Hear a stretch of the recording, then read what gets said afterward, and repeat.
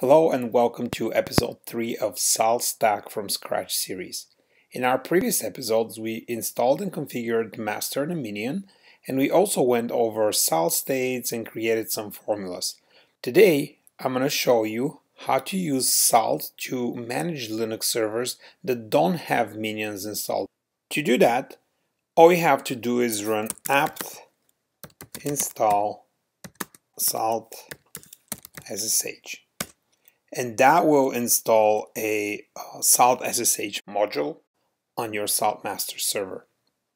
Now, Salt SSH module will create a uh, file called roster that's located in etc salt. So if we go to nano etc salt, and then we go to roster, and in the roster is where you're gonna add your remote machines, and this basically is like a roster of all the machines that you will manage without having minions in them.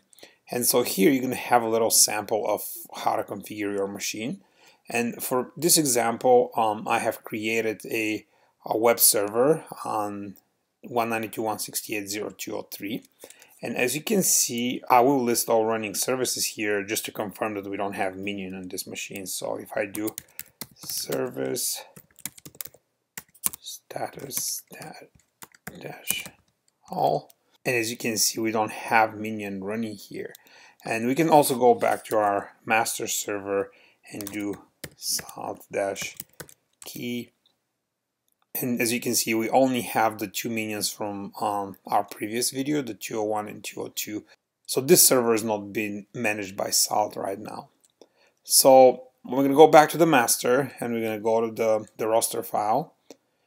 And here we're going to create a new entry for our web server.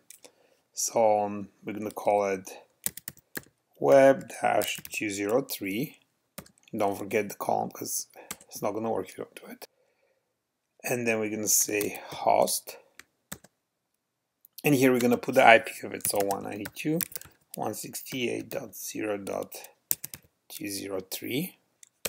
And in my case, I'm gonna just use um, the root user, but you know you can use different user. Just make sure that um, if you use a user different than root, um, and you want to be able to run like uh, sudo commands, you need to add that user to the sudoers list on that remote machine. So just one thing to remember. So here I'm gonna say user root, and then I'm also gonna say sudo true. That's to allow me to run sudo.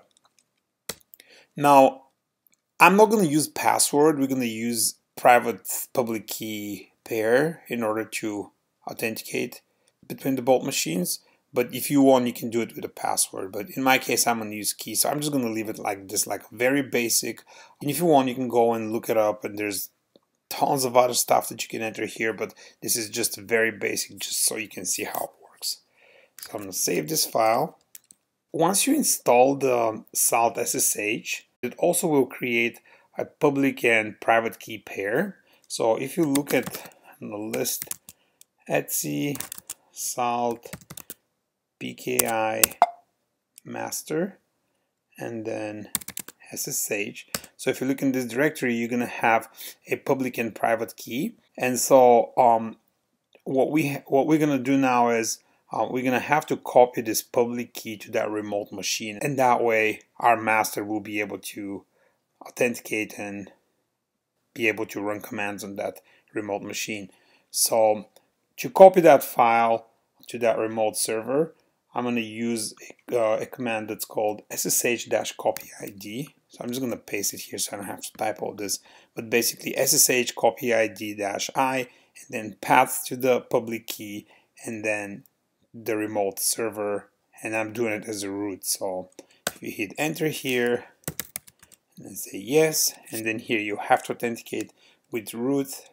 That way you give access to that remote server to copy the file over. So we're gonna say there you go and now the file is copied.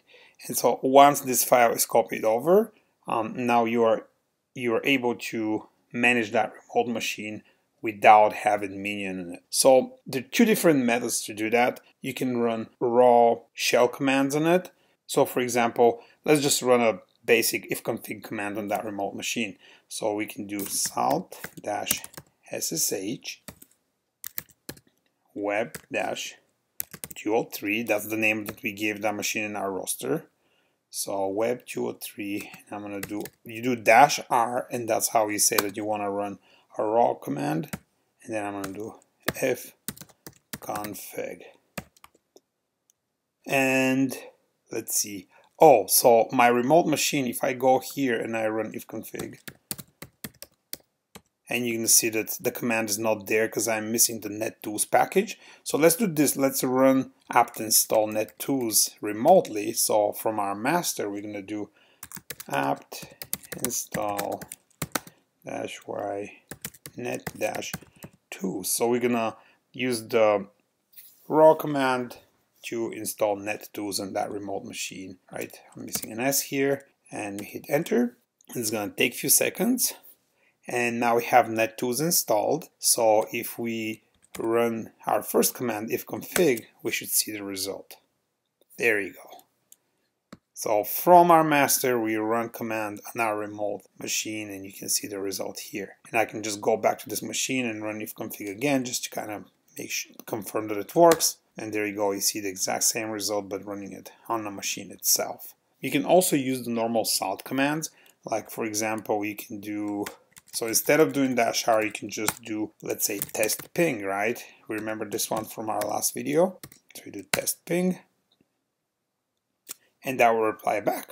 Or you can apply uh, salt formulas to it. So like, let's see if we go to our directory where we have all of our formulas, and let's see what we have here. So let's see what's in our top file.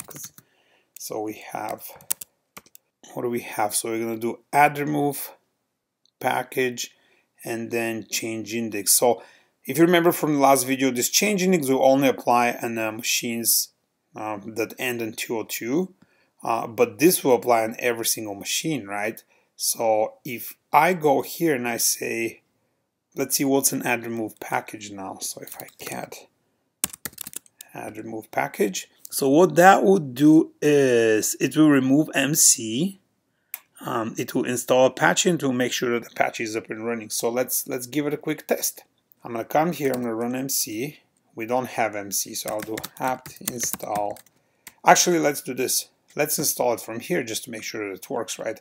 So if I run the, if I just run this, but instead of this ping, I use another salt command, right? So what was it? cmd run like this and I say apt install dash y mc oops misspelled it so apt install mc and that will install mc the midnight commander.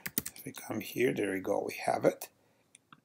So now from here what I can do is state.apply